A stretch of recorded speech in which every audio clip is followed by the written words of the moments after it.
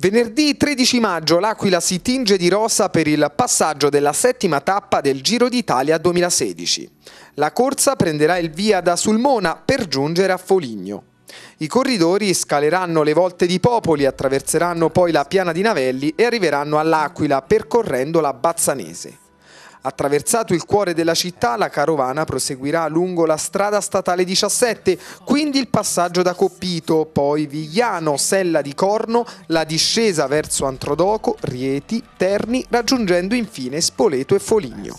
In particolare il percorso di gara nel territorio del comune dell'Aquila comprenderà la strada statale 17 lato San Gregorio, via Girolamo da Vicenza, il circuito di Collemaggio, viale della Crocetta, via Bneto Cencioni, via Panello Campanella, Viale della Croce Rossa, Viale Corrado IV e la strada statale ancora 17, stavolta direzione Rieti.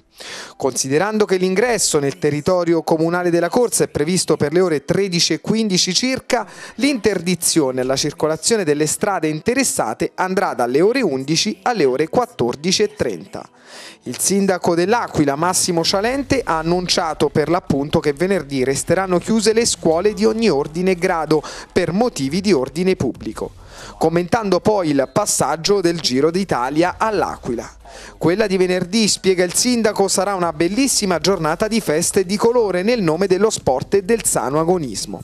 Già dalle ore 9.30 nel parco Polsinelli di fronte alla questura, in attesa del passaggio della corsa, prenderanno il via una serie di iniziative che vedranno l'esibizione della banda della scuola media Patini e degli sbandieratori del gruppo storico Città dell'Aquila. Invito pertanto, conclude il sindaco, sia i ragazzi che le loro famiglie a partecipare numerosi e a salutare tutti insieme i protagonisti di questa bellissima avventura che è il Giro d'Italia.